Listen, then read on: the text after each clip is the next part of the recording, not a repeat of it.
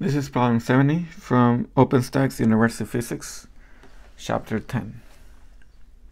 The moment of inertia is defined as this quantity. For a uniform mass distribution, we can define the linear density as the total mass divided by the total length. And therefore, we can rewrite our element of mass as rho dx. And you can check this by integrating dm, which would be the integral of rho dx from the beginning of the rod to the end of the rod. And you will see that that answer simplifies to m.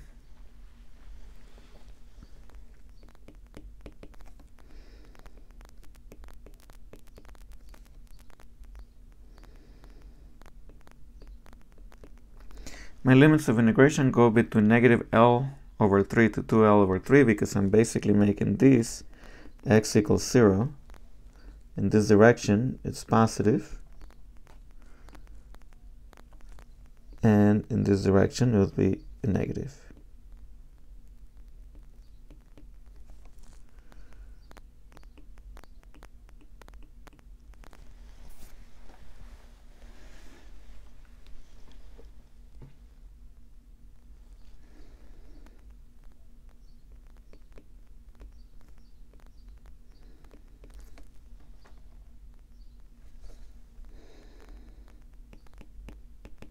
Since rho is a constant, I can bring it out of the integral.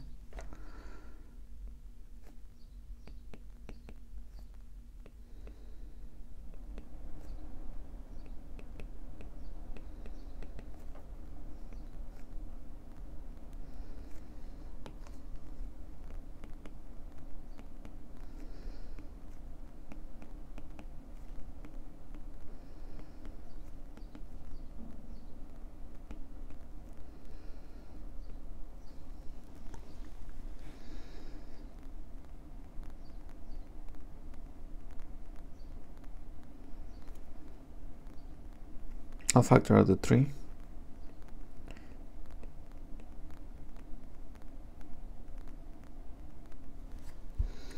Let's rewrite that. So what I'm doing here is when I write this out, I'm going to write out like rho over 3 x cubed evaluated from negative L over 3 to 2L over 3.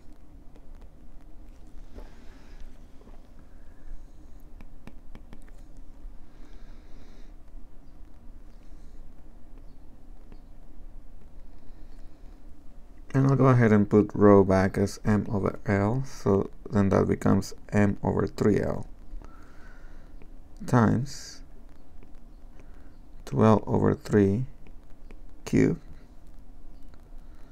minus negative L over 3 cubed.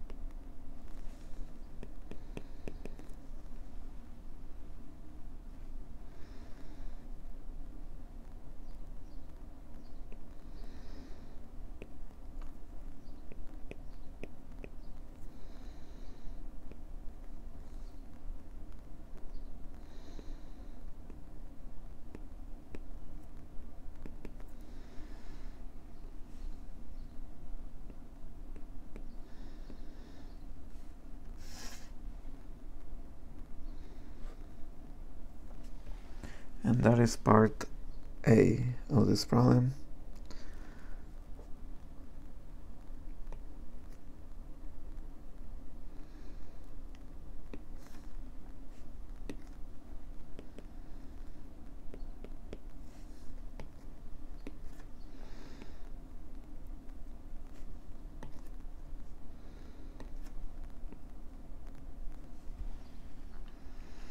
Alright, now let's do everything, but this time we will use the parallel axis theorem.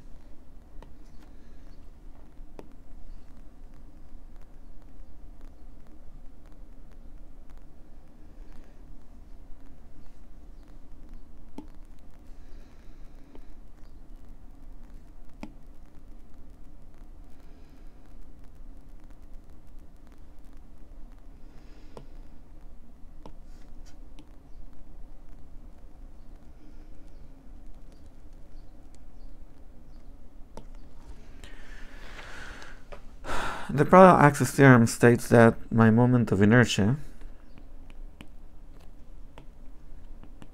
is going to be equal to moment of inertia as measured at the center of mass plus the mass times the square of the distance from the center of mass to the new axis. Now, looking at uh, table 10.20, I will choose one that uh, seems appropriate. In this case, I will choose the third one from the left, the thin rod um, about axis to the center that is perpendicular to the length. And that value is I equals ml squared over 12.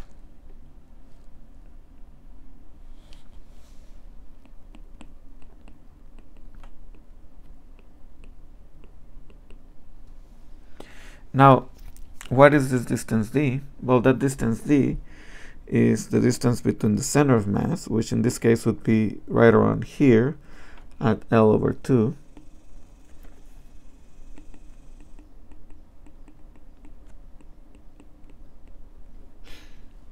And the new axis. It's important to know that I chose an axis for my center of mass moment of inertia that is parallel to the axis uh, through which it would be rotated.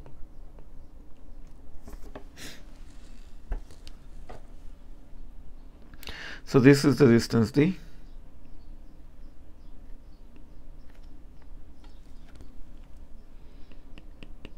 And I have that my moment of inertia should be ml squared over 12 plus m times the distance, which would be L over 2 minus L over 3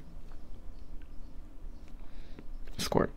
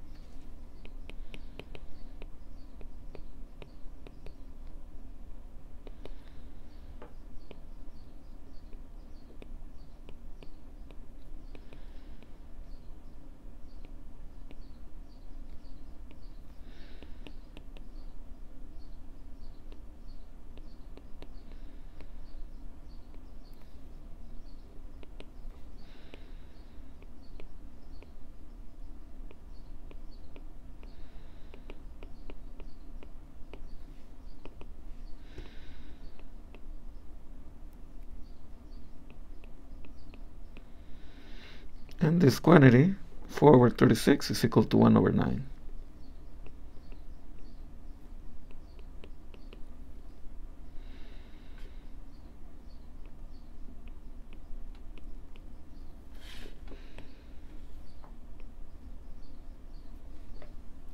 And we see that our answers agree.